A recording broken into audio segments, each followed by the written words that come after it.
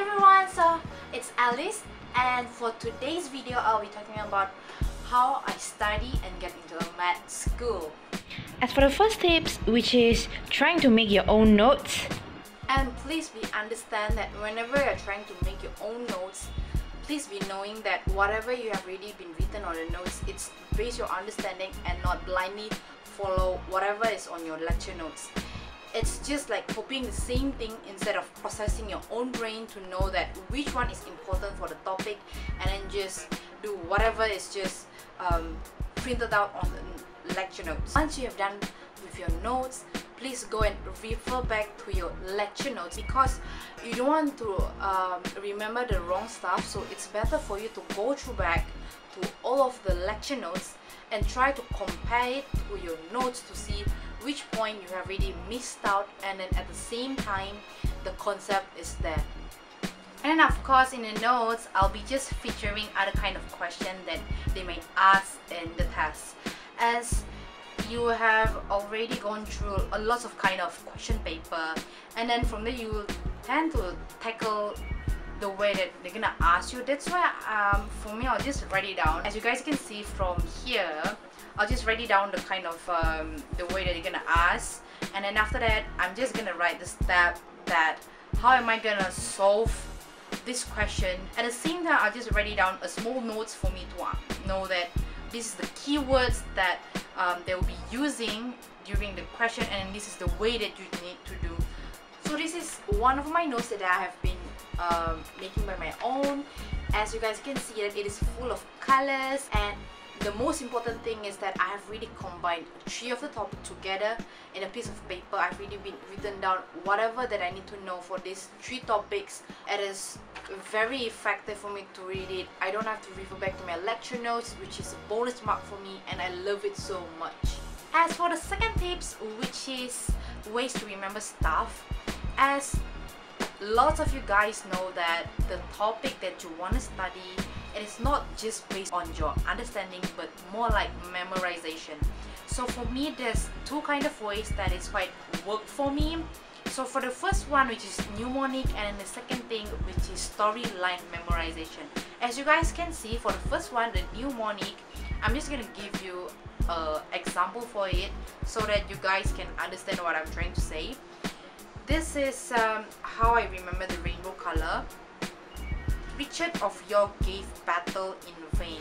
And then instead of blindly remember the stuff, I'll just make it into a mnemonic. As for the storyline, all I can say is that whenever you guys are trying to make this one, try to make sure that it is fantasy.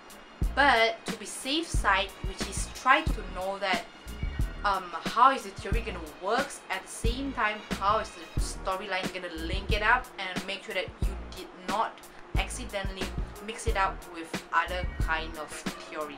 And then the third tips that I will be saying which is try to make as much as practices as you can.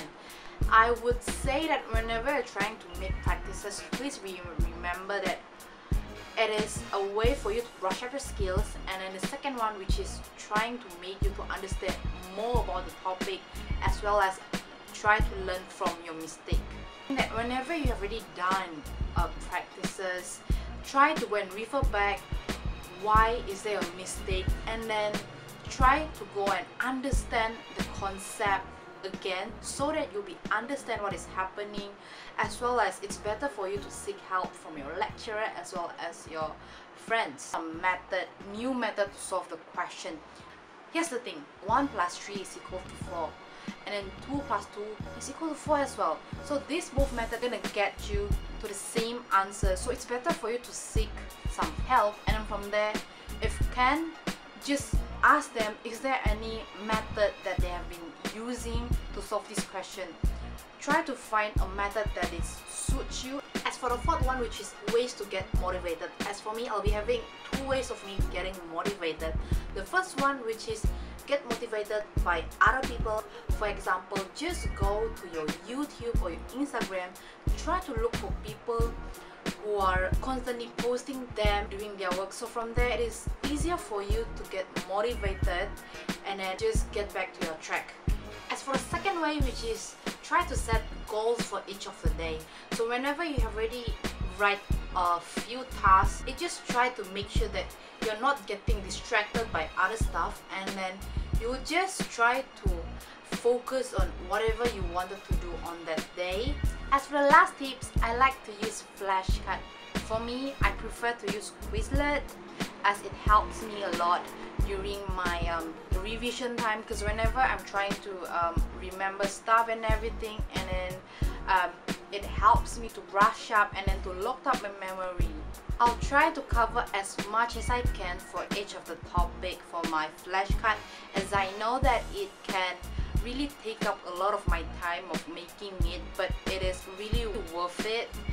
As it is quite convenient for most of us because none of the people wanted to bring a big bunch of notes to go everywhere so by having the apps on your phone you can just refer back and um, test your knowledge. Those are the tips that I've been using during my pre-med school and I really hope that it can help um, people who are around the world. So yeah. So thank you guys for watching